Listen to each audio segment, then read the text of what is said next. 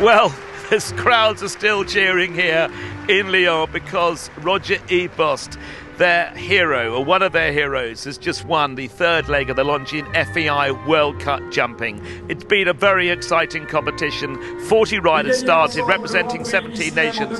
Frank Rothenberger, the course designer, knew he had to build something really big to sort the men from the boys in this competition.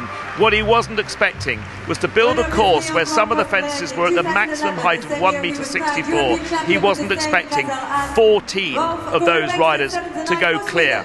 Interestingly, the world's 1, 2, and 3 of the Longines rankings, Scott Brash, Ludger Beerbaum, and Marcus Ehning, they all had the last down, so they didn't make it to the jump off, but 14 did.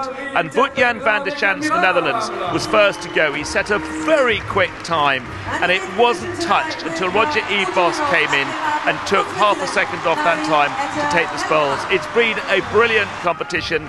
Steve Guerdat, he remains head of the Western European League in the Longines World Cup Series here in Europe. But we just go to round four next week in Verona. But from me here at the side of a very excited arena here in Lyon, it's bye bye, and I look forward to seeing you next week in Verona. Goodbye.